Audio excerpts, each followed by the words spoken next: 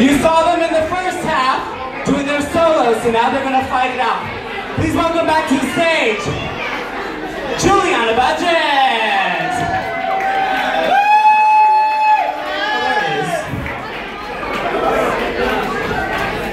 She hated that much. And she is going to be fighting up against Liz.